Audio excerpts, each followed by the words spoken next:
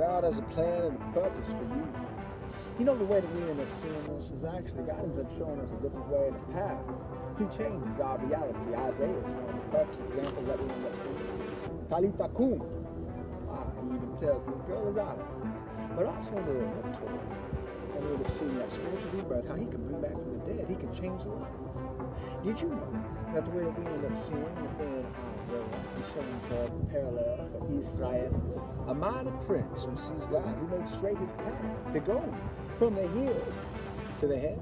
Actually, understanding that is to then therefore take a new God purpose. It is to change the way that we end up seeing the world and to take the action necessary to receive divine information. It is absolute. It is glory at its finest. And also very love that we receiving with a new connection with Christ Jesus. It is to love the Lord our God with all our heart, mind, and soul, therefore into perfection. That perfection coming forth is actually a divine portion of instruction. We end up understanding how God can lift us up how he can take us and show us something, how he can take the very top of the world and give us a new way to view forth, how he has opened up our mind and is the inception of a new thought and a perception of reality itself, but also to have a deeper understanding and appreciation of the God. You can get into it so deep. Why the most complex way that I ended up seeing it was in gematria, but they would show forth the value system of the Word of God. But what I found was interesting. They would end up using numerical systems where they would count Yahweh value 26 and David for 14. Using, for instance, the Yod Hey for value of 10, 5, 6, and 5 to come up with the 26 and 5 and find different words that end up having the same value that connect with the Lord. That's one of my favorite examples. But even at CMS, what we end up seeing is that also that there's a way that we have a deep appreciation for each and every one. If we look towards Yetzirah formation and Marlborough, how it looks the principles of understanding that connects us within the world of creation, then it is to understand that when they open up the word God, say, Bereshis bara Elohim Hashem In the beginning, God created the heavens and the earth. Well, how did God create? He spoke. John is the same. In the beginning was the the was with God, and the Word was God. and The Word became flesh and dwelt among us. That's one of the miracles that I was able to see is that when you speak the word of God, you build forth creation itself. You actually end up seeing the miracles.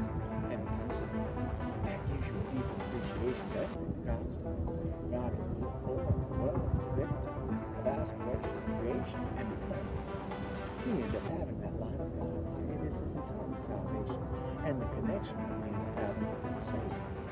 Because of that, we are reborn. You change history.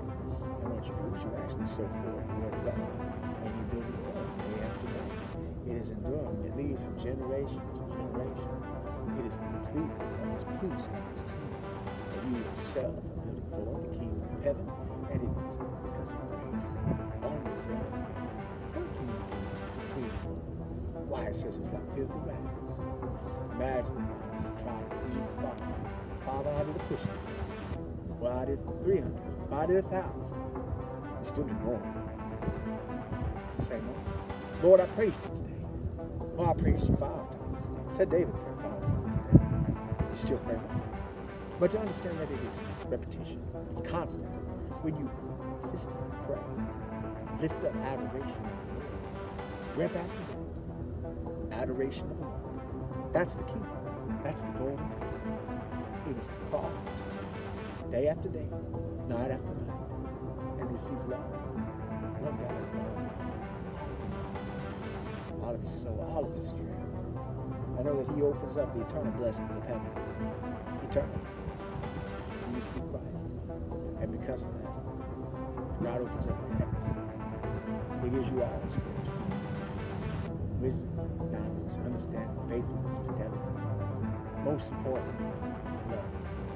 Faith, hope, and love. The greatest of these.